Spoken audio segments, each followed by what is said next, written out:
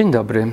W sobotę 10 września witam i pozdrawiam serdecznie wszystkich i zapraszam do wsłuchania się w Słowo Boże, które zostało wyznaczone na dzisiejszy dzień jako słowo, które ma nam towarzyszyć, wzywać do refleksji, ale i budować i wzmacniać.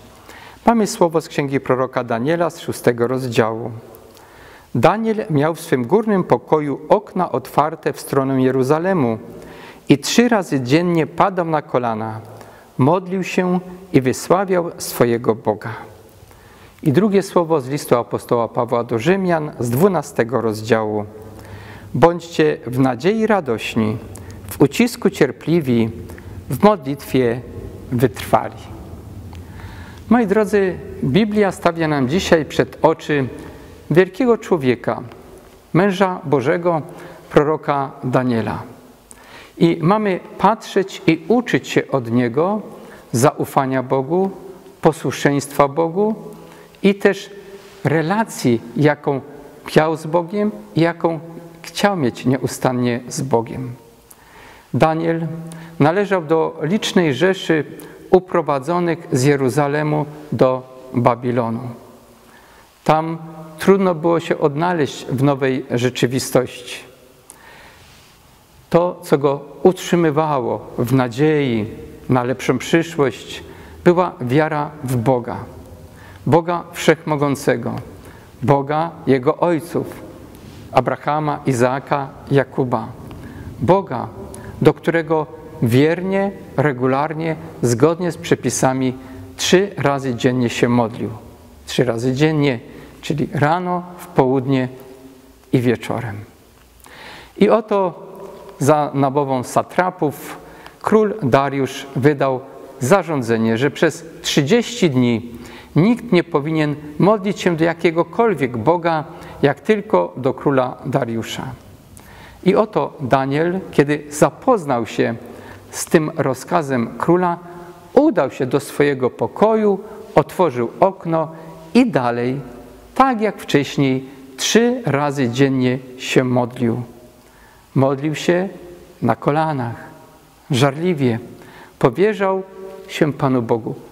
Modlił się, chociaż wiedział, jakie wielkie zagrożenie to sobą niesie, że może zostać wtrącony do lwiej jamy, żeby został pożarty przez lwy, a mimo to się modlił. No, jestem ciekawy, jak my byśmy się zachowali, gdyby za to, że się modlimy, groziła nam jakaś kara. A może trzeba dzisiaj zapytać inaczej, czy my się modlimy, gdzie się modlimy, jak się modlimy, jak często się modlimy. Jesteśmy w kościele, w kościele Zmartwychwstania Pańskiego w Katowicach, który w okresie letnim jest otwarty. Wchodzą tutaj i turyści, ale nieraz wchodzą i osoby, które popatrzywszy na kościół, siadają w ławkach, składają ręce i widać, że się modlą. Potrzebują wyciszenia, modlitwy. W każdą środę, w samo południe mamy tutaj mały koncert organowy, który zachęca również do modlitwy. I okazuje się, że z tygodnia na tydzień coraz więcej osób przychodzi, widać skupione twarze, zamyślone, modlitewne. Kościół, dom Boży i dom modlitwy. Miejsce, w którym znajdujemy przestrzeń do rzeczywiście spokojnej modlitwy, żeby rozmawiać z naszym Bogiem. Ale nie tylko w kościele. Mam nadzieję, że i codziennie, tak jak Daniel, się modlimy. W wielu miastach w samo południe kościoły dzwonią, rozbrzmiewają dzwony. Po co? Żeby przypomnieć o nie tylko, że jest południe, ale o modlitwie południowej, nawet o krótkim westchnieniu do Boga. My irytujemy się, kiedy patrzymy na muzułmanów, którzy chodzą z dywanikami i w godzinach modlitwy, gdziekolwiek są, kładą na ziemię dywanik, klękają i modlą się.